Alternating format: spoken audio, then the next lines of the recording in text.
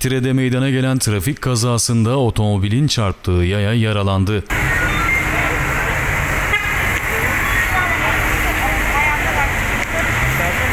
Olay akşam saatlerinde trenin işlek güzergahlarından olan istasyon caddesinde meydana geldi. Caddede Cumhuriyet Meydanı istikametine seyir halinde olan otomobil yolda karşıdan karşıya yaya olarak geçmek isteyen Sinan Arslan'a çarptı. Çarpma sonucu yola savrulan yaya yaralandı. Yaralı olay yerine gelen 112 ambulansıyla alınarak Tire Devlet Hastanesi acil servisine kaldırıldı. Yaralının hayati tehlikesinin olmadığı öğrenildi.